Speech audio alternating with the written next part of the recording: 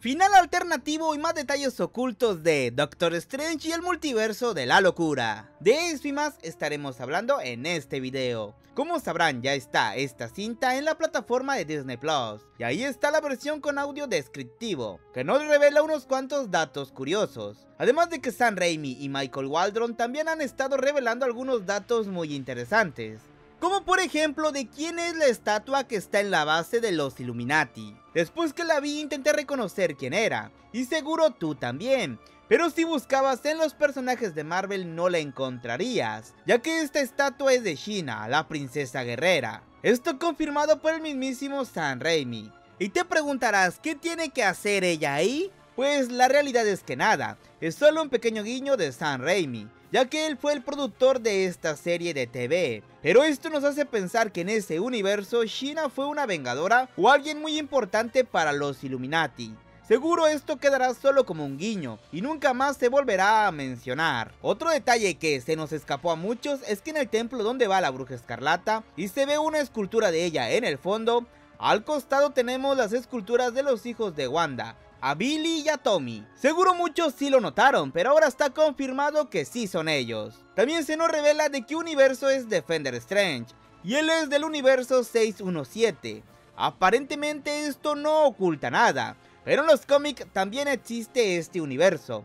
Recordemos que en los cómics el universo principal es el 616, y ahora llamaron al universo principal del UCM con ese número. Pero bueno, en los cómics el universo 617 es muy similar al 616, solo cambia por ciertas cosas, como que en este universo no muere Gwen Stacy, ya que Spider-Gwen del universo 65, o sea la Spider-Gwen que todos conocemos, se encuentra con la Gwen de ese universo, evitando que ésta muera, y en cierto punto de su vida logra unirse con el simbionte Venom, convirtiéndose en Spider-Woman. ¿Será que esta es una pista de futuros proyectos que tiene Marvel? ¿O solo es una coincidencia? Deja tu opinión en los comentarios. Otro dato es que cuando Strange va a buscar el libro de Vishanti, pero Wanda lo destruye, todos pensamos que el libro no ayudó a Strange, pero no fue así, ya que sí lo ayudó.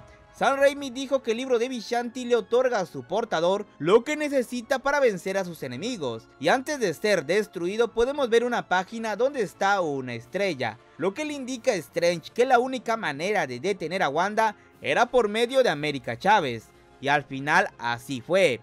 Así que el libro sí le ayudó a Strange. También se confirmó que sí había una escena de Defender Woman, algo que se había filtrado por medio de unos juguetes, pero al final no llegó a quedarse en el filme. Otro detalle de Won es que Sara iba a ser su novia. Si no sabes quién es Sara, ella es la que destruye al Darkhold mientras Wanda está controlando a la Wanda del universo 838, o sea, la Wanda de los Illuminati.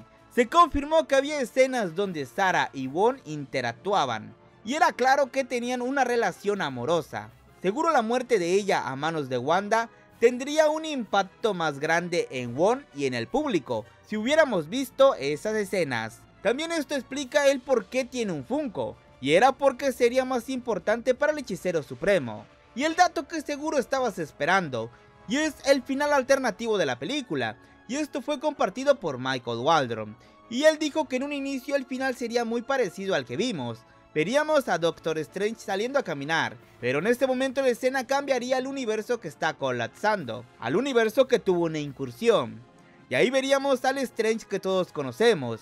La escena cambia de nuevo al Strange que salió a caminar y veríamos cómo le sale su tercer ojo. Y sería muy fácil entender que nuestro Strange se quedó en ese universo, el que estaba colapsando y el Strange siniestro escapó con Christine Palmer y América Chávez. La realidad es que esta pequeña escena cambiaría muchas cosas para el futuro de Doctor Strange, aunque no sería gran problema, digo, Solo sería cuestión de que Wong se dé cuenta de lo que pasó, decirle a América que regrese a este universo por Strange y enfrentar al Strange siniestro, pero solo quedó como un final alternativo. Aunque debo admitir que eso hubiera sido más impactante que ver cómo le sale el tercer ojo al Strange que todos conocemos. Pero déjame saber en los comentarios qué final te hubiera gustado más. El que vemos en la película o el final donde se cambian los Strange de universo.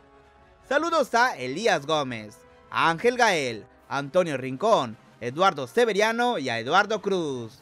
Si tú también quieres un saludo déjalo aquí abajo en los comentarios. Hasta aquí el video de hoy, espero que te haya gustado. Y si fue así, ya sabes qué hacer. Recuerda que yo soy Daniel Morantes y esto es El Círculo Geeks.